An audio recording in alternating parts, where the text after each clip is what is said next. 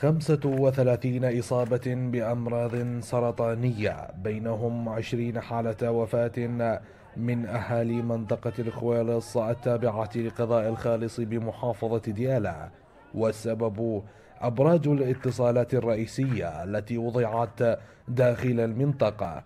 أمر دفع الأهالي للخروج عن صمتهم وتنظيم وقفة احتجاجية. منذ دخول شبكة كورك ازدادت الإصابات بمرض السرطان في المنطقة اللي تبعد 200 متر عن البرج.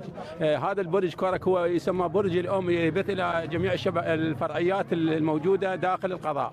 هاي الأبراج أنت مثل ما جاي تشوفها هنا هي منصوبة داخل المناطق السكنية ولا تبعد حوالي 100 متر عن المدرسة وهذا مخالفة للقانون. إحنا وقفنا وقفة احتجاجية لمدة سبعة أيام. جو الشبكة كلها مصابة حاليا. 35 إصابة و9 أقول 22 العفو حالة وفاة. يعني هاي كلها وماكو دليل كلها هسه حاليا يعني مصابين. قبل دخولها يعني قبل 2008 ماكو إصابات. ليش من جت ظهرت الإصابات عندنا؟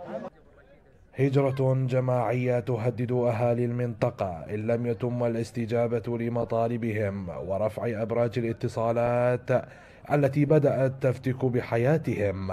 كانت أي إصابة ماكو. حاليا من 35 إلى 40 إصابة. الوفيات 20 إصابة لحد ال 25 يعني إحنا نطالب الجهات المعنية إنه تزيل هذا البرج. وإلا إحنا راح نطلع من المنطقة ونعوف عليهم لأن أكثر من شكوى اشتكينا وما حد ما نفذ لنا إياها. بشكل شبه سنوي يسجل حي الخويلص عشرات الضحايا بأمراض سرطانية والسبب يعود إلى نصب برج رئيسي للاتصالات ذي إشعاع خطير وسط صمت الجهات المعنية من محافظة ديالى عبد الله الباش قناة الرشيد الفضائية.